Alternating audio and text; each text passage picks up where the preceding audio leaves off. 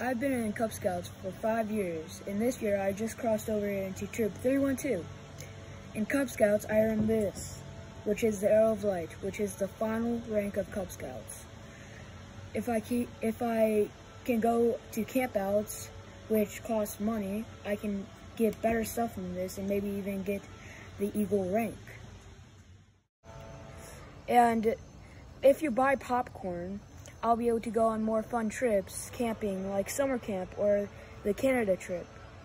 Because every popcorn bag you you buy is money in my scout account, which I can use to buy backpacks or, or camping trips. Because 34% of all the money that you use to buy the popcorn goes right to my troop. I'm sorry, I have the hiccups. So far, I've been able to do a lot of things. I went to a campsite and I trained dogs for an entire day. And we also went to this other campsite where we worked on an eagle project, which that was really fun too.